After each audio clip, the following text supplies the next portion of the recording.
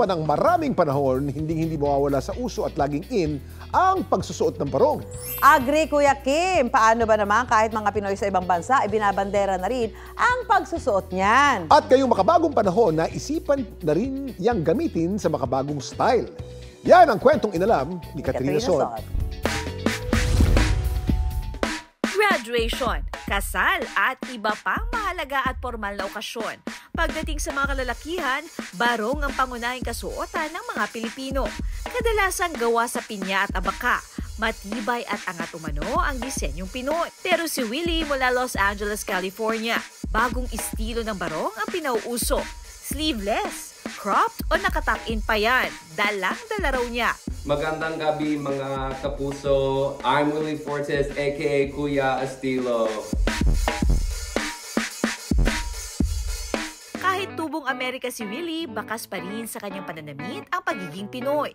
Ang kanya kasing wardrobe, puno ng barong Tagalog. I grew up wearing barongs to formal occasions, I thought, well, why does the barong just have to sort of live in the shadows of formal events? Especially here in America, many other cultures aren't familiar with um, the barong. And so I thought, well, wouldn't it be fun to have a way to wear it out in the street with other clothing so that I can sort of uh, represent my Filipino heritage. Actually, I have the cowboy hat right here. I thought I'd put it on. I know Kuya Kim likes these, so... Kakaiba mang forma ng kanyang mga barong, hindi naman daw ito pang araw-araw na kasuotan ni Willie. I don't necessarily wear a barong every time, but I do keep them in the rotation. Anytime I'm going to, uh, you know, a dinner or I'm going out to an event, Sa thrift stores o mga ukay-ukay sa LA, bumibili si Willie ng barong. a lot of the barongs I have, I found on at either uh, being from used sales, so at thrift stores or online being sell, sold as used barong. There are a few that I have that are made by barong companies. I like to take them and refresh them and turn them into something new. Instead of them hiding in a closet somewhere, I'm hoping they'll be able to be seen out in the street and admired. Ipinapares niya ito sa maong na pantalon at varsity jacket para sa streetwear look. Itineterno niya rin ito sa cowboy hat, jacket at scarf, necktie para sa Wild West na inspired outfit. I really take inspiration from all over. Of living in LA, I see so many people out on the street that have amazing outfits and aesthetics and ways of really representing their identity. For me, it's really about looking at what others are doing and finding a way to make it my own. Para mas i-level up pa raw ang pambansang kasuotan. Ginugupit ni Willie ang manggas para gawing sleeveless. Binabawasan din niya ang haba para maging crop top. Pero ang ilan sa ating mga kababayan, napapataas umano ang kilay sa bagong bihis na kinagisnang barong.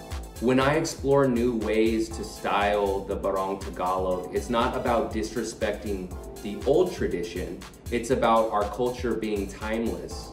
And that in order for our culture to grow, some of our traditions, like the Barong, must grow as well. I love the part of me that's American and I love American style and fashion, but I also love the part of me that's Filipino.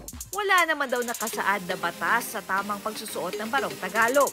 Ngayon, usapin naman ng identidad ng mga Pilipino ah, dahil siya ay isa namang PhilAm, so may dugong Pinoy din siya, meron din siyang karapatan tulad ng sino pa mang Pilipino. Sa katunayan, noong unang panahon ng mga Espanyol, natutukoy ang katayuang panlipunan base sa pagsusuot ng barong. Dito na isinusuot ng mga Indio at ng mga Mestizo ah, yung barong Tagalog para ma-distinguish ang mga Espanyol naka-tuck out in barong Tagalog. Ano? While yung mga Espanyol, nakapaloob yung kanilang mga ah, sinusuot na damit. Pero yung kanyang pag-outer ay parang hindi katakatakang mangyari kasi unti-unti nang nag evolve ang itsura ng barong Tagalog without ah, diminishing yung original.